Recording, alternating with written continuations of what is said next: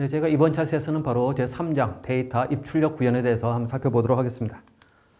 자, 여기서는 바로 데이터베이스 어떤 기초부터 해가지고요. 논리적 데이터 저장소, 물리적 데이터 저장소, 그 다음 여러 가지 데이터베이스 새로운 트렌드에 대해서 쭉 진행하도록 하겠습니다.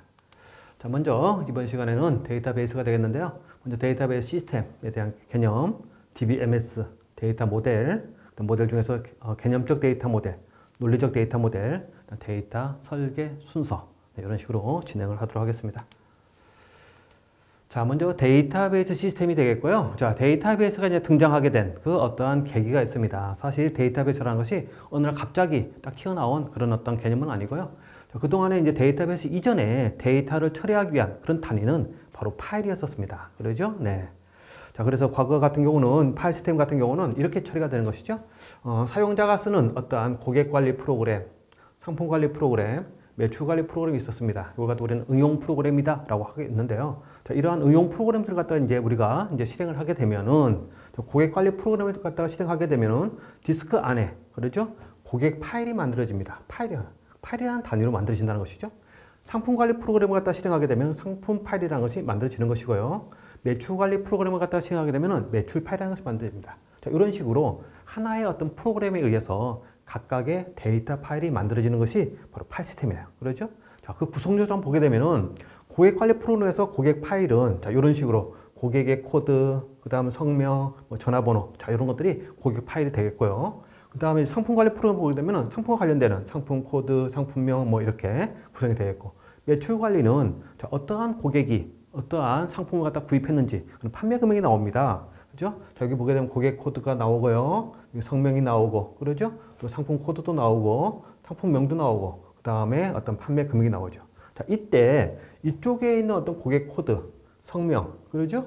자, 이쪽에 있는 상품 코드, 상품명이 이렇게 다 중복돼서 나오더라는 얘기죠. 네. 그러니까 어떠한 프로그램을 실행했을 때 만들어진 데이터 파일에서 파일들의 관계를 보니까 데이터가 중복되고 있습니다. 그러죠? 네. 자, 이게 바로 이제 파일 시스템의 문제점이 되겠고요. 자, 파일 시스템의 어떤 문제점. 문제점은 가장 큰 문제가 데이터가 중복된다. 그러죠? 데이터 중복성이 일어나게 됩니다. 음. 그래서 금방 이야기한 대로 많은 데이터가 중복이 되는 것이죠. 자, 중복되다 보니까 디스크의 낭비도 어떤 초래가 발생하겠고요. 일관성 문제, 보안성 문제. 예를 들어서 이쪽에 어떤 보안에 어떤 문제가 발생됐다면은 자, 이쪽에도 보안에 취약점이 발생할 수밖에 없다라는 겁니다. 네, 그래서 데이터 중복성은 또 다른 많은 문제들을 이야기를 하게 돼요. 반복하지 못하다는 것이죠. 네, 그 다음에 또 하나 문제는 만약에 예를 들어서 이쪽 상품 코드가 상품이 처음에는 코드를 갖다가 이제 숫자로 부여를 했습니다. 그죠?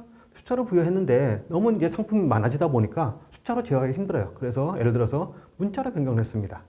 데이터 구조가 바뀐 것이죠. 근데 이 데이터 구조는 뭐와 관련성이 있어요? 바로 프로그램과 관련성이 있죠. 네. 그래서 구조의 변화가 생기면은 프로그램도 같이 변경할 수밖에 없는 그런 또 하나의 문제점이 일어납니다. 저걸 갖다 우리는 데이터 종속성이다라고 합니다. 데이터 종속성. 음, 데이터 종속성. 그래서 데이터 구조의 변화가 프로그램에 영향을 미치는 자, 이런 문제가 일어나더라는 것이죠. 네. 자, 그래서 실제적으로 현재도 파일 시스템을 많이 쓰고는 있지만 대량의 데이터를 처리하고자 할 때는 이건 하나의 문제점이 일어나는 것이고요. 자, 그래서 자, 이런 문제를 해결하기 위해서 바로 새로운 개념의 데이터 처리 방법이 나오는데 그게 바로 데이터베이스입니다. 자, 데이터베이스에서는 이와 같이 중복되는 내용을 갖다가 그러죠. 다 표현하지 않고 하나로 이제 통합시킨 것이죠. 네. 그래서 여기 보게 되면은 고객 파일의 내용, 상품 파일의 내용, 매출 파일의 내용을 갖다가 하나로 통합해서 고객 코드, 성명, 고객 관리는 이쪽에 얘가 접근을 해주면 되는 것이고요. 상품 관리다. 그럼 이쪽에 접근을 해주면 되겠고, 매출 관리다. 그럼 여기 다시 접근을 해서, 그러죠? 네, 이런 식으로 표현을 갖다가 하게 되는 것이죠. 그래서 결국은 통합됐다라는 것이죠. 네. 그래서 데이터 중복성을 바로 데이터베이스 시스템에서는 해결을 할 수 있다라는 겁니다. 그 해결. 해결은 바로 이제 통합이라는 걸 통해 가지고 바로 해결할 수가 있다. 그 다음에 또 하나 아까 어, 종속성 문제였죠. 네. 어떤 프로그램의 변화가 데이터 구조가 변화가 프로그램에 영향을 미치는 것이죠. 그래서 여기서도 마찬가지로 변화는 일어나는데요. 그래서 이러한 직접적으로 프로그램 영향을 갖다가 좀 완화하기 위해서 중간에다가 또 하나의 소프트웨어를 설치하게 됩니다.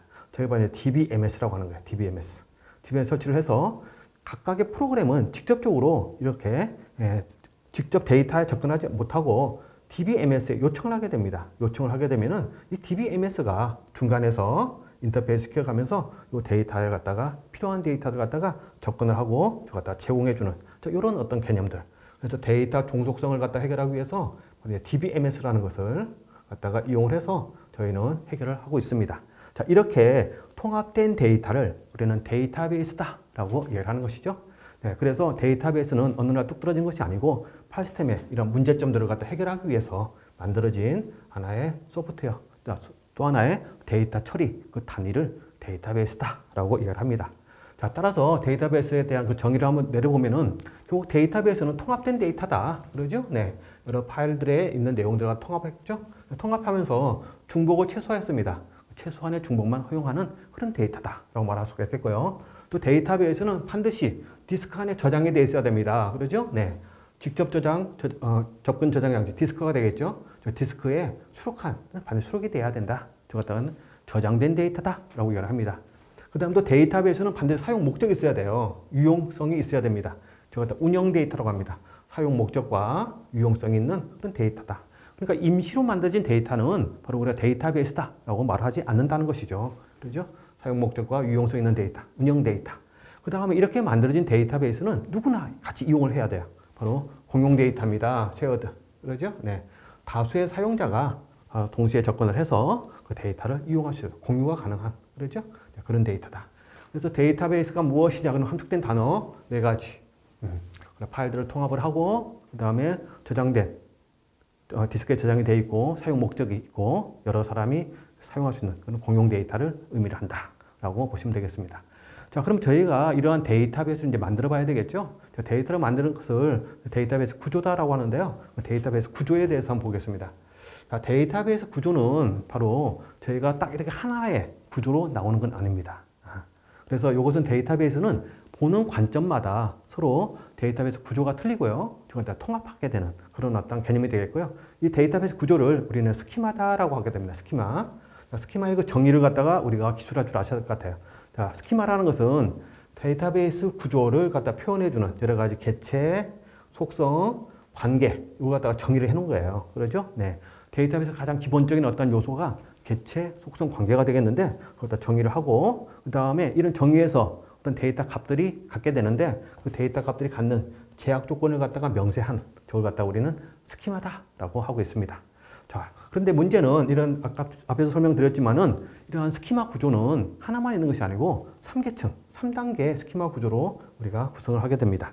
자, 그럼 한번 볼까요? 네. 그래서 스키마 구조는 3단계다. 음. 자, 사용자가 지금 우리가 어떠한 응용 프로그램을 씁니다. 아까 얘기한 대로 뭐 회원 관리 프로그램을 사용하고 있고요. 두 번째 사용자는 어, 예를 들어서 뭐 자재 관리 프로그램을 사용하고 있고요.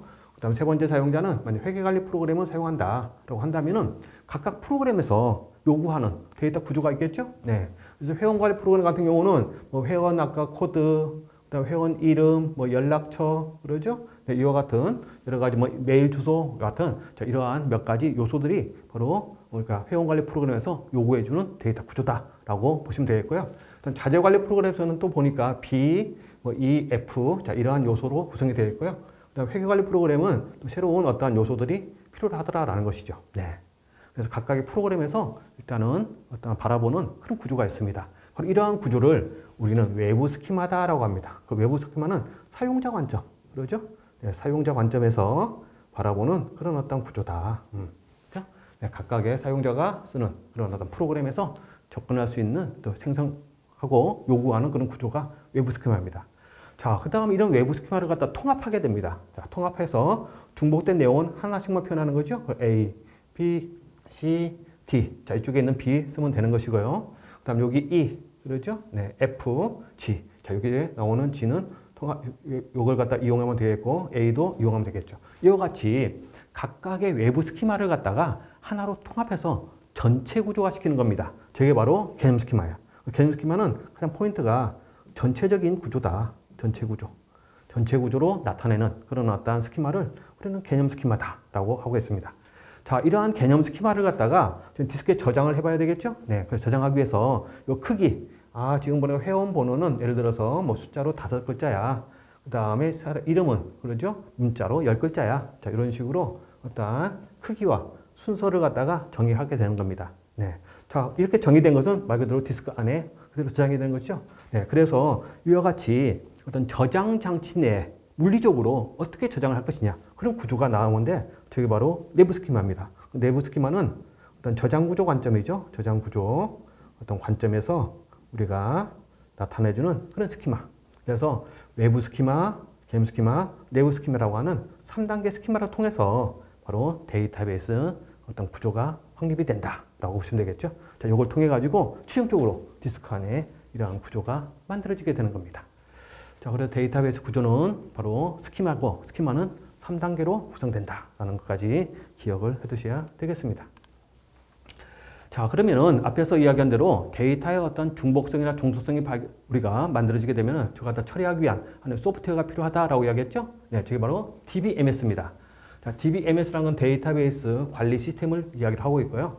모든 어떠한 프로그램들이 또는 사용자가 쓰는 프로그램, 응용 프로그램들이 데이터베이스를 갖다가 같이 공용할 수 있도록 여러 가지 관리를 갖다가 해주는 그런 하나의 소프트웨어, 자, 시스템 소프트웨어를 우리는 DBMS다라고 이야기를 합니다. 그래서 어떤 프로그램들이 그러죠. 하나의 만들어진 스키마 구조, 즉 데이터 베이스를 갖다가 이용할 수 있도록 해주는 그런 어떤 시스템 소프트웨어를 바로 DBMS다. 자, 그럼 어떠한 걸 딱 관리하느냐?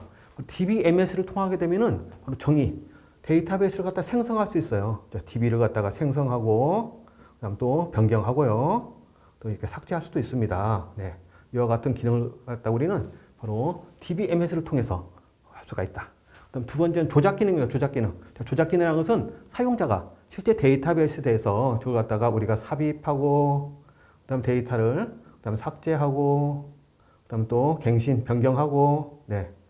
또 검색하고 네, 이와 같은 작업들을 수행할 수 있는 그 기능이 바로 조작 기능이에요. 그 다음 제어 기능이라고 하는 것은 바로 데이터베이스 자체 만들어진 DBMS, DB가 있을 건데 그 데이터베이스를 갖다가 유지 관리하는 거죠. DB의 데이터베이스의 유지 관리. 자, 이와 같은 어떤 기능을 다 수행할 수 있는 것이 DBMS다라고 보시면 됩니다. 그 DBMS 3대 기능, 정의 기능, 조작 기능, 체어 기능. 자, 저희 필기할 때도 굉장히 많이 나오고 있고요. 꼭 기억을 해 두셔야 되겠습니다. 자, 그럼 이러한 DBMS에는 실제적으로 어떠한 어떤 종류가 있느냐? 우리가 관계형 DBMS가 있고요. 네. 관계형 DBMS는 가장 많이 쓰고 있는 그런 DBMS가 되겠습니다. 우리 RDBMS다, relation. 그 다음에 계층형 DBMS가 있고요. 네트워크형 DBMS 자 이런 식으로 어, 해당하는 어, 어떠한 DBMS 종류에 따라서 결국은 데이터베이스가 서로 달라지게 만들어지게 됩니다. 달리 만들어집니다. 자, 그 중에서도 실제적으로 이제 관계형 DBMS가 현재는 가장 많이 쓰고 있고요. 또 거의 대부분의 또 시험 문제도 관계형 DBMS를 가지고 저희가 설명을 하게 될 것 같습니다. 자, 그러면은 이 그림을 통해서 금방 한 이야기를 한번 정리를 한번 하게 되면은 자, 여기 사용자가 각각의 프로그램들을 이용하고 있죠. 네. 그 다음에 여기서 데이터베이스를 내가 구축하고 싶어요. 고객관리 프로그램은 고객, 그 다음에 상품, 재고 이와 같은 것 갖다가 통째로 만들어서 통합시켜서 만드는 것이 DB입니다. 자 그러면은 이 어떤 사용자 프로그램들이 여기에 접근을 하고 그러죠? 앞에 만들고 또 조작을 하고 그다음에 이걸 유지 보수하기 위해서 중간에다가 DBMS를 딱 설치한다는 것이죠. 네. 그래서 모든 데이터베이스를 이용하려면은 얘를 거쳐야 돼요. 그렇죠? 네. 그래서 DBMS가 망가지게 되면은 데이터베이스 시스템은 쓸 수가 없습니다. 네, 그만큼 굉장히 중요한 요소다라는 것을 꼭 기억을 해 두셔야 되겠죠. 그래서 프로그램과 데이터베이스를 연결, 인터페이스 해주는 그런 소프트웨어가 DBMS다라는 까지 알고 계시면 되겠습니다. 자, 그 다음에 그러면 이제 본격적으로 데이터베이스를 내가 이제 만들고 싶습니다. 어느 조직에서. 그러면은 저것이 그냥 만들어지는 건 아니고 몇 가지, 그러죠? 모델링이라는 그 과정을 거쳐서 우리가 만들게 되는 것이죠. 네, 간단하게 한번 설명을 드리면은 저기 이제 현실 세계에 굉장히 많은 데이터가 있습니다. 그렇죠? 저걸 갖다 우리는 최종적으로 디스크 안에 갖다가 데이터들을 구조화 시켜야 되는 거예요. 그렇죠? 네. 해가지고 여기서 요구하는 것 갖다가 테이블로 저희가 디스크가 되겠고요. 여기서 DB가 되겠죠? 네. 자, 이렇게 바로 만들기가 쉽지가 않다라는 거예요. 그렇죠? 그래서 먼저 사람이 생각하는, 그러죠? 또 어떠한 사용자가 요구하는 그런 데이터들을 뽑아내야 됩니다. 네, 저 갖다 우리는 개념적 구조, 개념 구조로 표현한다라고 되어 있고요. 개념 구조는 인간 중심적입니다. 그러죠? 네, 인간 중심적으로 일단 이해할 수 있는 그 구조로 만드는 그런 일련의 과정이 필요하겠고요. 자, 요걸 일련의 과정을 우리는 개념적 모델링이라고 합니다. 개념적 어떤 모델링, 모델링을 통해서 인간이 이해할 수 있는 구조로 변경하는 것이고요. 자, 인간이 이해할 수 있는 구조로 나타난 걸 갖다가 이제 컴퓨터, 그러죠? 실제 어떤 메모리 상에 지금 나타내야 됩니다. 그래서 갖다 이제 어떤 논리적 세계로 표현한다, 논리적 어떠한 개념으로 표현한다라고 합니다. 이는 이제 컴퓨터가 이해할 수 있는 구조로 변경을 해줘야 되겠죠? 네. 자, 요걸 갖다가 우리는 논리적 또는 모델링이다라고도 표현합니다. 자, 논리적 모델링은 바로 컴퓨터가 이해할 수 있는 구조로 바꾸는 것이고요. 그다음 여기서 이제 이게 만들어지면은 저게 바로 이제 물리적, 그죠? 네.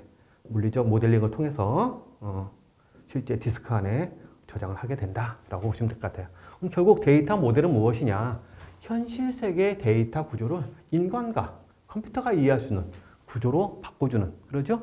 또 저걸 갖다가 바꾸고 표현할 수 있는 그런 모델을 데이터 모델이다 라고 이야기를 합니다.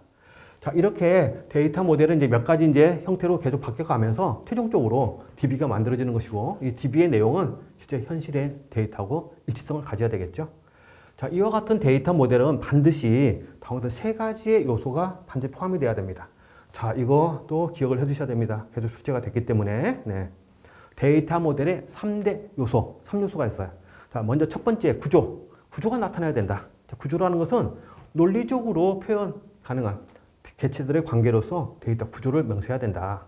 자, 데이터 구조가 앞에서 뭐라고 그랬죠? 스키마였죠? 네. 그리고 이것은 스키마 구조. 네, 스키마 구조가 명세가 돼야 된다. 스키마 구조는 논리적으로 표현돼야 된다라는 뜻이 되겠고요. 바로 여기서 표현하는 것이 바로 이제 스키마를 표현하게 된다. 그 다음에 연산이라고 하는 부분이 반드시 나타나야 됩니다. 어? 데이터 모델에서는 자 연산이라는 것은 바로 데이터베이스에 저장된 데이터를 처리해주는 그 작업, 음, 그러죠? 실제 데이터에 저장되어 있는 데이터를 어떻게 처리할 것이냐. 음, 그래서 이제 어, 여러 가지 이제 연산 작업이 있습니다. 관계 연산이라고 표현하고 있는데요. 네, 그런 연산을 통해서 데이터를 갖다가 처리하기 위한, 자, 저장된 데이터를 처리하기 위한 작업을 명시하는 것을 연산이다라고 하고 있습니다. 그럼 또한 가지는 바로 이러한 구조와 연산이 만들어지면은 그러죠? 그 데이터를 처리하기 위해서 이제 이용, 저 허용 가능한 그런 데이터들의 어떠한 제약 조건이 있어요. 즉 바로 제약 조건입니다. constraint. 데이터베이스에 허용될 수 있는 데이터들의 어떠한 논리적인 제약 사항, 제약을 갖다 명시하는 것을 제약 조건이다라고 이야기를 합니다. 그래서 일단 기본적으로 데이터 모델 3대 요소, 구조, 연산, 제약 조건을 알아두시고요. 그다음 구조가 무슨 뜻이냐? 논리적으로 표현되는 어떤 데이터 구조를 이야기한다. 스키마 구조를 이야기하는 것이고 연산은 데이터에 저장된 데이터를 처리해 주는 것을 이야기하고 또 하나의 이런 값이 허용되는 제약 조건이 필요하다. 이게 바로 3요소입니다. 아시겠죠? 네. 넘어가겠습니다. 자, 그 다음에 이제 모델링 작업을 갖다가 다시 그림으로 한 표현하고 있었는데요. 네. 자, 일단 사용자가 내가 데이터베이스를 갖다가 구축하고 싶어요. 그럼 사용자 요구사항을 갖다가 우리가 분석을 해서 먼저 인간 중심적으로, 그러죠? 하나의 데이터 모델을 구성하게 됩니다. 자, 이게 바로 이제 개념적 데이터 모델이다. 라고 이야기했습니다. 인간 중심적으로. 근데 저희가 인간 중심적은, 음? 어, 우리 인간은 복잡한 건 싫잖아요. 그래서 우리가 도형으로서 데이터들의 관계를 나타내게 됩니다. 예를 들어서 학생이라고 하는 거, 교수라는 개체가 있고요. 어, 둘 사이에 강의라고 하는 관계가 만들어진다. 네, 이렇게 알기 쉽게 이렇게 만들어진 그런 데이터 모델을 개념적 데이터 모델이다 라고 합니다. 자, 이건 우리 인간이 이해하기 쉬운 건데요. 컴퓨터에서 이제 이해할 수 있는 그런 어떤 논리적인 데이터 모델이 필요합니다. 자, 논리적 데이터 모델 그 구조를 스키마 구조라고 그랬죠? 네, 그래 스키마 구조를 갖다 만들어내는 거예요. 학생이라고 하는 어떤 구조와 그 다음에 교수라고 하는 구조, 또 요들의 어떤 관계를 갖다가 지금 나타내고 있네요. 자, 이렇게 표현하는 것을 우리는 논리적 데이터 모델로 표현한다. 라고 표현하는 것이고요. 자, 이것이 이제 만들어지게 되면은 바로 이제 디스크 안에 그걸 만들어야 됩니다. 학번, 이름, 학과, 그러죠? 데이터 값을 넣어주게 되는 것이죠. 그 다음에 여기 보면은 뭐 교수와 관련되는, 그러죠? 그런 어떤 또 테이블을 갖다 만들어서 우리가 값을 넣어주게 됩니다. 자, 이와 같이 디스크 안에 만들어지는 것을 우리 물리적 데이터 모델이다. 그래서 사용자 요구사항을 분석해서 개념적, 그 다음 논리적, 물리적인 이런 모델링을 통해서 데이터베이스는 구축된다라고 보시면 되겠습니다. 자, 그러면 다시 좀 돌아가서요. 개념적 데이터 모델부터 다시 한번 정리하도록 하겠습니다. 자, 개념적 데이터 모델은 계속 이야기하지만 현실 세계 데이터를 갖다가 분석해서 계속합니다. 인간이 사람이 이해하기 쉬운 그런 어떤 다이어그램으로서 어, 데이터 구조를 표현하는 것을 바로 개념적 데이터 모델이다 라고 하고 있고요. 바로 이렇게 우리가 이미 배운 바로 ER 다이어그램이 있죠. 네. 그다음에 요즘 확장된 ER 다이어그램도 이와 같이 ER 다이어그램으로 표현하는 것은 개념적 데이터 모델이다라고 얘기를 합니다. 자, 이와 같이 어떤 개체와 세 개의 속성으로 구성되어 있고요. 네. 그 중에 기본 키는 학번이 되겠고요. 그 다음에 과목이 있습니다. 과목도 세 개의 속성으로 구성되어 있고, 네.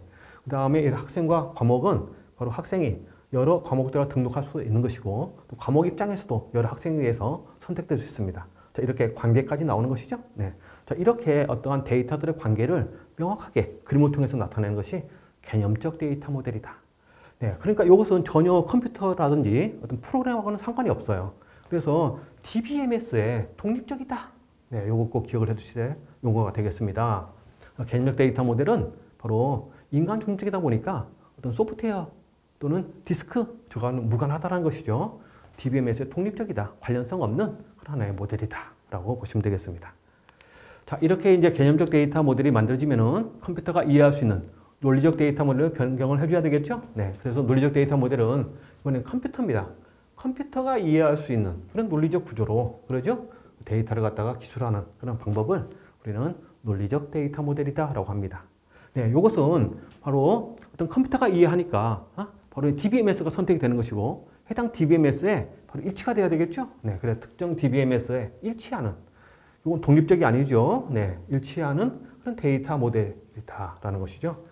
자, 만약에 관계형 내가 DBMS를 선택을 했어요. 그럼 관계형 스키마, 구조가 만들어지는 것이고 계층형 DBMS를 선택했다. 그럼 계층형 DB가 만들어지는 겁니다. 그러죠? 그래서 논리적 데이터 모델은 특정 DBMS에 일치되는 그러죠? 데이터 모델을 이용하는 것이다. 자, 그리고 이런 데이터 모델에는 이제 관계 표현함으로써 관계형 DB, 계층형, 네트워크형 이런 모델로 구분이 되는 겁니다. 앞에서 설명했지만 이런 많은 모델 중에서 가장 많이 쓰는 것이 관계형 모델이에요. 그러죠? 거의 우리 90% 이상을 다 관계형 데이터 모델로 지금은 다 구축을 하고 있습니다. 네. 자, 코드라는 사람에 의해서 일단은 제안이 됐고요. 가장 널리 사용하는 것이다. 자, 그럼 관계형 모델은 어떻게 만들어지는 것이냐? 바로 데이터 구조가 테이블 구조, 테이블 구조. 자, 저희가 앞에서 계속 이야기했던 바로 이와 같은 구조가 되겠죠? 네, 하나의 테이블입니다. 자, 이게 바로 학번이다. 그다음 이름이다. 그다음 학과다. 이런 식으로. 그러죠? 그다음 여기 학번이 들어가고 이름이 들어가고요. 과목이 들어갑니다. 바로 행과 열로 구성이 되는 바로 이러한 구조를 바로 관계형 모델이다 라고 있고요. 그래서 테이블 형태로 나타난 것이다. 음. 자, 관계는 바로 1대1 관계, 1대 다, 다대다 관계. 그러죠? 네, 어떤 테이블과 테이블 사이에 자, 이러한 모든 관계들을 갖다가 아주 자유롭게 표현할 수 있는 것이 관계형 모델이 되겠고요. 실제 사용하고 있는 DBMS로는 이제 Oracle. 네, 들어보셨죠? Oracle, SQL 서버, 네, 그다음 MySQL, 그 다음에 MariaDB 네, 이와 같은 것들은 전부 다 관계형 모델이다 라고 보시면 되겠습니다. 반면에 계층형은 구조만 보겠습니다. 구조, 얘는 트리 구조입니다. 트리 구조. 자, 트리 구조니까 부모 자식 관계, 계층 구조화 되어 있는 것이고요. 자, 네트워크형은 그래프 구조로 나타납니다. 그래프. 그러죠? 네. 그래프 형태의 그 구조로 나타나는 것은 바로 네트워크형이다. 자, 그렇지만 계속 이야기지만 관계형이 현재 가장 많이 사용되고 있다라고 보시면 되겠습니다. 자, 그러면 최종적으로 바로 이러한 모델링을 통해서 결국은 설계를 갖다 우리가 하게 되는데요. 설계 작업의 순서가 나옵니다. 네, 얘도 아주 마르고 닳도록 많이 나옵니다. 필기에서도 많이 나왔지만은 실기에서도 빈칸 넣기가 많이 나오기 때문에 먼저 순서를 꼭 기억을 해 두셔야 될 것 같아요. 자, 내가 어떠한 데이터베이스 구축하기 위해서는 바로 여러 가지 어떤 요구 조건을 갖다가 우리가 수집을 하고 저걸 분석하게 됩니다. 그렇죠? 요구 조건 분석 단계가 있습니다. 설계 단계가 있는데요. 설계 단계가 3단계 설계를 갖고 있어요. 그렇죠? 네. 개념적 설계, 그다음 논리적 설계, 바로 물리적 설계. 아까 모델을 배웠었죠? 네. 개념적 모델링을 수행하는 것이 개념적 설계가 되어 있고요. 논리적 모델링을 수행하는 것이 논리적 설계가 되어 있고, 그다음 물리적 모델링을 수행하는 것이 물리적 설계가 됩니다. 같은 개념으로 보셔도 상관 없습니다. 자, 개념적, 논리적, 물리적이다. 네. 그 다음 최종적으로는 구현이 이루어지겠죠. 디스크 안에. 자, 그러면 각각의 의미를 좀 보겠습니다. 자, 개념적 설계라는 것은 앞에서 이야기지만 어, DBMS, 아까 인간 중심적이라고 그랬잖아요. 자, 인간 중심적이다 보니까 DBMS의 독립적이다라는 것을 꼭 기억하셔야 됩니다. 독립적이다. 계속 강조를 하고 있습니다. 개념적 설계, ER 다이어그램으로 표현되는 그러죠? 네. 이것은 바로 우리가 음, DBM의 독립적이다. 자, 그렇지만 이제 논리적 설계부터는 네, 아까 인간 중심적인 것을 컴퓨터 중심적으로 바꿔줘야 되겠죠? 저게 논리적 설계가 되겠는데 이 논리 설계는 DBMS에 맞춰줘야 돼요. 결국은 자, 요 단계에서 DBMS가 적용이 되는 겁니다. 그러죠? 네. 그러니까 요 앞에 단계는 DBMS와 무관한 것이죠. 네, 무관하고 여기가 DBMS가 딱 선택되니까 그 뒤에 단계들은 전부 다 해당하는 DBMS 맞게끔 설계가 돼야 되는 것이죠. 네, 그래서 논리 설계는 목표 DBMS에 맞는 일치되는 그런 스키마가 설계되는 것을 논리적 설계다라는 것을 기억을 해두셔야 되겠습니다. 그렇죠? 네. 트랜잭션 인터페이스 설계도 여기서 이루어지고 있고요. 그 다음 이제 물리적 설계가 있네. 물리적 설계. 자, 물리적 설계도 마찬가지죠. 목표 DBMS 맞는 물리적 구조를 갖다가 설계하는 것은 물리적 설계다. 음. 자, 이건 좀 더 세부적인 설계가 되겠고요. 자, 이런 설계가 끝나게 되면은 이제 구현을 해야 됩니다. 자, 구현을 하기 위해서는 바로 이제 목표 또 DBMS에 맞는 TDL 정의어라고 하는데요. 그 정의어를 통해서 데이터베이스를 생성하는 이러한 일련의 과정을 거칩니다. 그래서 이 설계 순서 꼭 기억을 해 두셔야 되겠습니다. 자, 이렇게 해서 저희가 데이터 설계 단계, 그 순서, 까지 알아봤고요. 네. 자, 오늘 했던 거 보게 되면은 일단 데이터베이스의 일단 가장 중요한 그 정의, 그러죠? 그게 무엇이냐. 음. 또 데이터베이스 구조, 어, 스키마, 또 스키마의 정의와 3단계 스키마, 네. 저기에 대한 이야기 알아두셔야 되겠고요. 물론 여기는 없지만은 또 DBMS, 그러죠? 네. DBMS에 대한 그 내용도 꼭 기억을 해 두셔야 되겠습니다. 그 다음에 데이터 모델 자체가 개념적 데이터 모델, 논리적 데이터 모델. 개념적 데이터 모델은 자, ER이죠? 네, ER 다이어그램으로 표현되는 그런 어떤 모델을 이야기하고 인간중심적이다. 논리적 데이터 모델은 이제 관계형, 계층형, 네트워크형이고요. 가장 많이 쓰는 것은 관계형이다. 따라서 데이터베이스를 설계하고자 할 때는 그 순서, 요구 조건 분석, 개념적, 논리적, 물리적 이런 설계를 통해서 최종적으로 구현하게 된다라고 정리를 한번 해두시면 되겠습니다. 자, 그럼 기출문제 실제적으로 어떻게 나왔는지 한번 보도록 하겠습니다. 자, 먼저 1번 다음 빈칸에 들어갈 데이터 모델의 구성 요소 수요. 자, 데이터 모델에 3대 구성 요소가 있었죠. 기억나세요? 네. 자, 일단은 데이터베이스 구조가 필요합니다. 그다음 연산이 필요하죠. 네. 그 다음에 제약 조건이 필요합니다. 음, 이거 갖다가 우리는 3요소다 라고 이야기했었습니다. 바로 그 구성 요소를 갖다 가로 안에 넣어주는 거예요. 자, 먼저 개체 데이터 모델에서는 자, 1번을 이용하여 실제 데이터를 처리해주는 작업에 대한 명시를 나타낸다. 네, 실제 데이터에 대한 처리를 하기 위한 처리 작업에 대한 명세를 나타내는 거. 자, 이게 바로 뭡니까? 세 개 요소 중에서 바로 연산이 되겠죠? 네, 연산. 자, 연산이라는 것은 저장된 데이터를 갖다가 처장해, 처리, 어, 처리 하는 작업에 대한 명세를 나타낸다라고 설명을 드렸고요. 논리 데이터 모델에서는 무엇을 어떻게 나타낼 것을 표현하는 것이다. 이번에 들어가서는 이제 구조가 되겠습니다. 구조. 그렇죠? 자, 이 구조가 스키마 구조다라고 이야기했죠? 네, 스키마 구조. 네. 여기서 구조를 이야기합니다. 다음에 세, 세 번째, 제약 조건이 있네요. 제약 조건은 데이터 무결성을 유지하기 위해서 데이터 보편적 방법으로서 특정 칼럼에 설정하는 제약을 의미하는 것이다. 네. 뒤에서 제가 배우게 된데요. 개체 무결성 제약 조건, 참중 제약 조건 등이 있습니다. 네, 그래서 여기서는 데이터 3대 구성 요소를 갖다가 순서대로 네, 그 내용을 갖다가 채워넣는 그 문제가 출제가 됐었습니다. 다음에 그래서 1번은 연산, 2번은 구조가 되겠습니다. 그 다음에 2번. 네. 다음은 데이터베이스 구축까지의 과정을 나열한 것이다. 괄호 안에 알맞은 용어를 쓰시오 그랬습니다. 자, 첫 번째 어떤 DB를 구축하기 위해서 가장 먼저 것은 요구 분석을 수행을 한 것이고요. 그 다음 이제 설계를 해야 됩니다. 설계가 3단계가 되겠죠? 네. 바로 개념적 설계, 그 다음에 논리적 설계, 그 다음에 물리적 설계. 네, 저는 간단히 적어봤고요. 실제적으로 답은 이렇게 되겠습니다. 다 적어주셔야 됩니다. 개념적 설계, 논리적 설계, 물리적 설계. 이해되시죠? 네. 그 다음에 3번. 자, 다음은 DB 설계 절차에 관한 설명에서 빈칸에 알맞은 용어를 쓰시오 그랬습니다. 네. 자, 1번은 특정 DBMS의 특성 및 성능을 고려해서 데이터베이스 저장 구조. 네, 포인트가 이거네요. 데이터베이스 저장 구조로 변환하는 일련의 과정으로서 그러죠? 네. 결과로 나오는 명세서는 테이블 정의서가 있다. 자, 포인트는 이겁니다. 데이터베이스 저장 구조로 바꾸는 자, 그런 설계가 무엇이냐? 뭘까요? 네, 물리적 설계가 되겠죠? 네. 그럼 물리적 어떤 설계가 되겠습니다. 그 다음 2번은 현실 세계에 대한 인식을 추상적 개념적으로 표현해서 개념적 구조를 도출하는 네, 개념적 구조를 도출하는 과정으로서 주요 산출물은 ER 다이그램을 쓰는 것이다.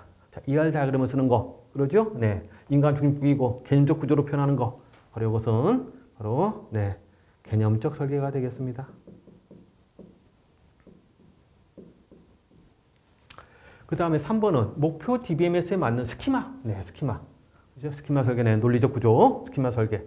또 트랜잭션 인터페이스 또는 뭐 추상화 이런 과정들을 수행하는 거. 네, DBMS에 맞는 스키마 설계 이야기가 나오면은 아, 이것은 논리적 설계가 되겠습니다.